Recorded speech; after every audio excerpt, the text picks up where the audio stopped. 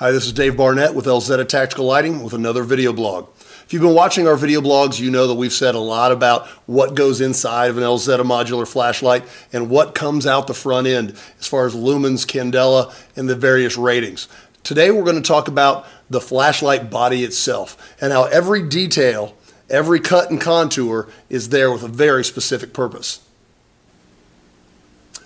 Taking a look at the outer design of an Elzetta modular flashlight, we see the characteristic seven fluted bezel.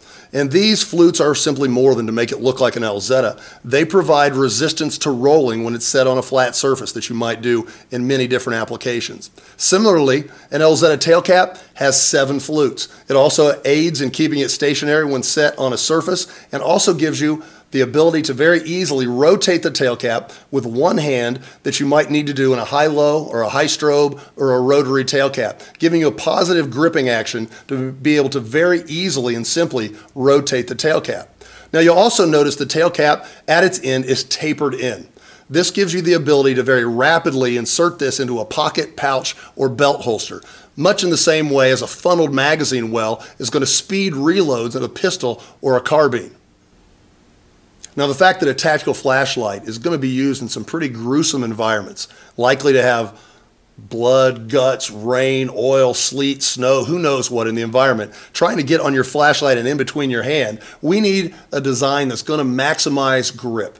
And if you look at the body design of an Elzetta modular flashlight, you'll notice that it has some flat areas where the logo is engraved. It's got grooves around the circumference, and it's got some very fine knurling in between those grooves. And if it looks a little bit like the tread pattern on a modern passenger car tire, that's not coincidence. It functions in very much the same way.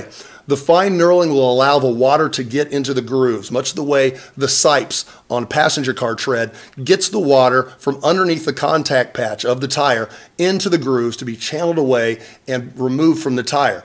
This way, the fine knurling gets the water, the blood, the guts, the grime into these channels, which can flow into the flat areas and fall away from your flashlight, leaving your flashlight in firm contact with your hand, whether it's gloved or bare flesh, for a true positive, firm, high traction grip.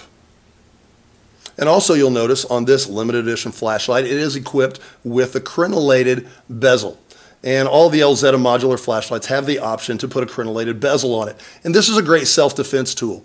And unlike some of the other so-called crenellated or spiked bezels that you might see on other flashlights, the Elzettas are not so sharp as a cut you. You can easily handle it. It's not going to tear your clothes but it is made in such a way that when it is impacted into flesh and twisted like a hole saw, it leaves a sizable and painful wound that will tell any assailant they should have picked an easier victim. Now, this was just a super quick overview of some of the various outside features of an Elzetta modular flashlight.